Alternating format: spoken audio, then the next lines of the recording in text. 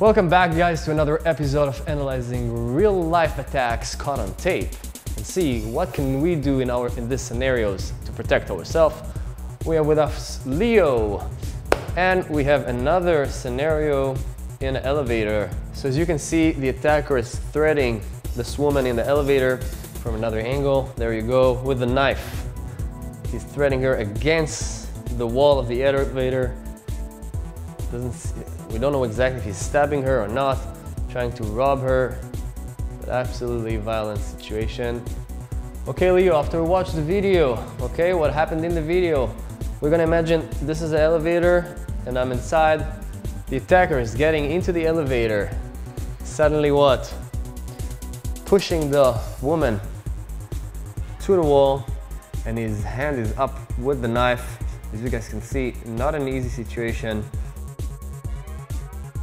There will have two things that we have to take in consideration. One is the knife, the real danger, of course. Two, his hands that is pushing me towards the wall or holding my shirt maybe or whatever he does, okay?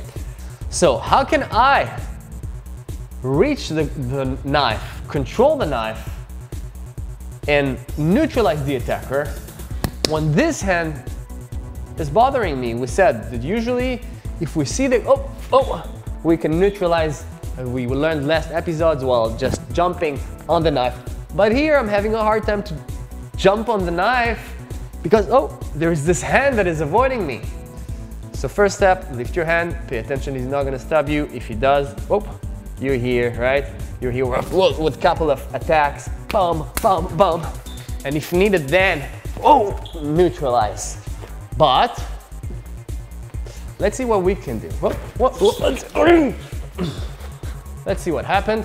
Now, even though while doing this, the knife can still be kind of far from you.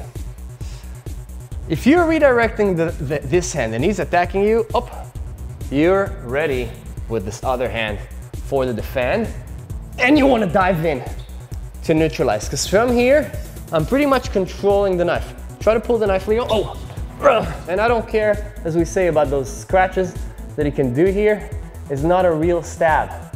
As much as it's unnatural, as much as your survival mode will tell you to go back, you're understanding if I'm not doing something now, I'm in serious trouble.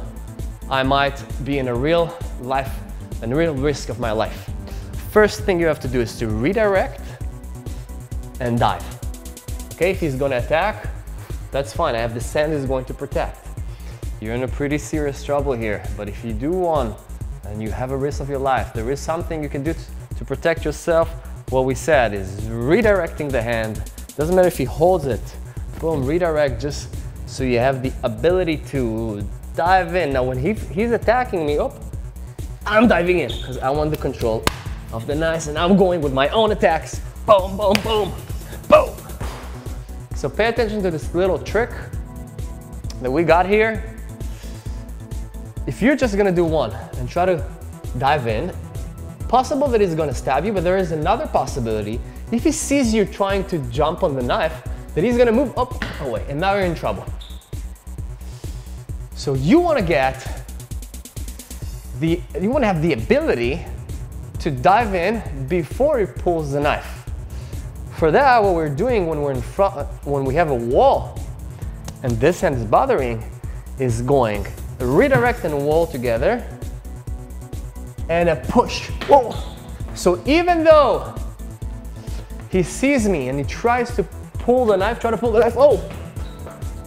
This push from this wall provide me energy and momentum to control the hand with the knife. From here, I'm with a strong grip and I will go to my attacks. Boom, going, going, head, boom, hammer, right? Knee if needed. All of this till his knife will fall on the ground. Boom, boom, boom, push. Take the knife. And of course, take distance and get out of the situation. Okay? Leo, thank you. Thanks for the knife. That's yours. Thank you guys for joining our Krav Maga class. You guys can stay tuned and check out our Facebook and YouTube page and learn more Krav Maga tips and lessons. Thank you.